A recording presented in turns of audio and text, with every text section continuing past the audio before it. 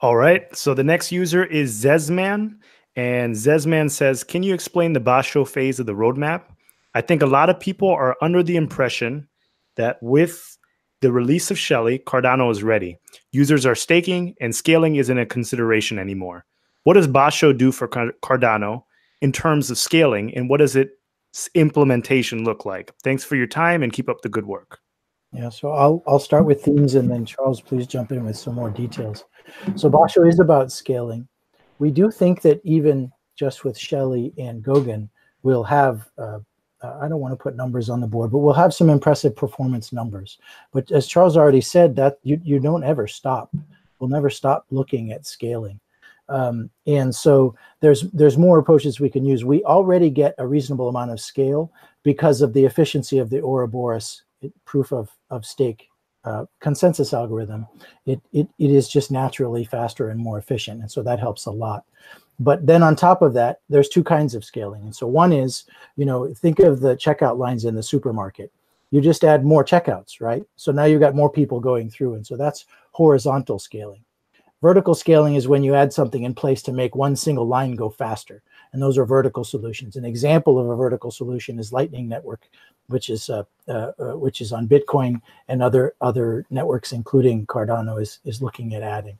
And so um, that allows for things to go faster through one checkout line.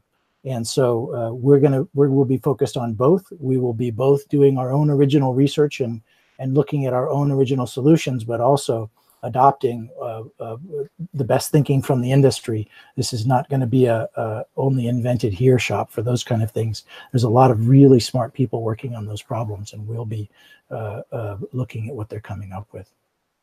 Yeah, we we wrote some papers on this already. Um, you know, for cross-share communication, it's really useful to have proofs that when you look at something coming from a foreign chain, whether it be a shard or it be an actual other blockchain, that you know what you're looking at is right and you can validate that quickly. And that's the whole point of NiPoPoWs and the point of proof of stake sidechains. And then we wrote another paper called Parallel Chains, where we had a kind of a discussion of the relationship between latency and throughput and how these things can uh, be put into a kind of a trade off profile.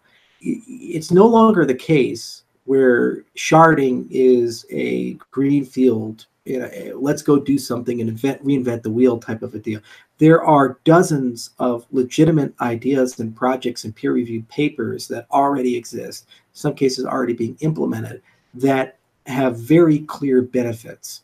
Uh, whether that be rapid chain or that be uh, OmniLedger or you know these types of things, they exist. They're real, and it's it's not a question of can we do this. It's now more so of a question of what are we willing to give up to get there. Uh, for example, uh, you would want to still preserve a lot of Byzantine resistance, but you really can't be, do better than a third the minute that you shard. In some cases, you go down to a quarter, depending upon the nature of the algorithm. So we immediately go from 50% down. And that's probably okay, especially if you have other mechanisms within your system to, that help bridge that gap. The other thing is that when you're dealing with shards, generally you do admit some sort of a coordination committee.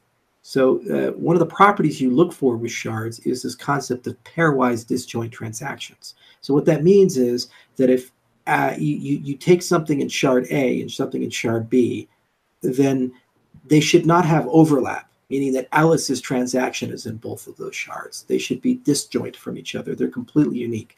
The only way that happens in practice is if there's some sort of serializer, some sort of committee that has a God's eye view of everything, and it makes proactive decisions about which buckets get to do various things. It also helps you coordinate communication between these so that you don't have this enormous overhead. Uh, so how you build that has a lot to do ultimately with the throughput of the system, the censorship resistant properties of the system, and also it's an additional bucket you have to incentivize. Uh, and there's there's unique security and privacy implications with these types of systems. Finally, as David mentioned, uh, you know, there's things you can do off the chain. Uh, Vitalik is dumping money into Starkware as, as Intel Ventures and other big VC guys because uh, Eli Ben Sasson and his guys are saying we can bundle lots of stuff together off chain with Star- Starks and you can only validate a little thing on chain, but then you have all this magic happening somewhere else, and we can get a more distributed system this way. And these are entirely reasonable approaches. So you have to not have a one size fits all solution. Rather, what you do is you say, all right, what is the state of the art the ecosystem has? And that's what we're basically going to put a flag in the ground with Ouroboros Hydra, where there'll be a boatload of citations and a boatload of discussion about competing papers. And we make our decision of where's that sweet spot for trade offs. And the nice thing is the Ouroboros design is quite easy to shard if we want to do that. And we'll just put that down there. And there's already some pre-theory that we've done. We're just cleaning up a few of these old things, like we're getting Ouroboros polished for journal submission, and we're uh, dealing with Chronos and Thos. Those are almost out. And then there's also uh, spikes of dishonest majority. And once we get past that, then the next, very next thing is the sharding side of things, and that'll be done throughout the summer. But then after you put that flag in the ground, you say this is the way we're going to do it. Then you have to say, okay, well, how do we want to make that that that checkout line faster? And so uh, Rob Cohen, uh, he's one of our product managers, is working exclusively at analyzing the Lightning Network and seeing if we can add this in as an additional capability to Cardano. And then we're also looking very heavily at Snarks and Starks and other zero knowledge uh, and also MPC solutions. So we had a guy named Sandro, and he's a researcher out of um, uh, Switzerland, and he's basically looking at the MPC space and seeing if there's something we can bring in. And Markulf Kohlweiss has already published something called Sonic, uh, but we have other zero knowledge proofs that we're developing and other techniques we're developing. We're even implementing them. And we may be able to bring some of those techniques to do exactly what Eli Ben-Sasson is doing with Starkware uh, for Cardano. So we're not picking a one size fits all. Rather, we're saying let's borrow as much as we can because this is mostly a solved problem at this point, and everybody's kind of converging to the same collections of solutions. Uh, and then let's add some unique twist that we think is uh, we get to do because Ouroboros was properly designed. Uh, and then for, let's clean up the mess a little bit. So let's make sure that we don't give up too much in the process of getting additional performance.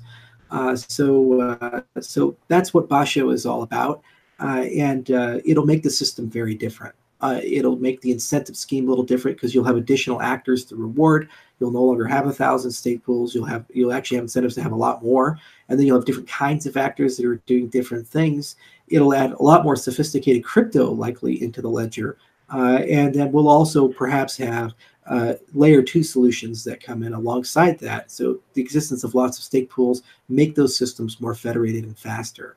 And then some composition of all these things will be Basho. So we'll get it started in 2020, but it's going to be a conversation the space is having for years. 2025, 2030, people are still going to be coming up with great innovations and great ideas. And uh, that's the advantage of having high lots of competition in a very fertile environment. And we're in a pretty good position because we, we kind of see everything. We go to every conference, uh, we talk to every developer. So there's nothing at this point that's going to surprise us that just comes out and they say, oh my God, we didn't know this MacGuffin can solve everything. We, we know of these things. And we know that researchers who are developing these things, like for example, Rapid Chain is a very good sharded BFT protocol.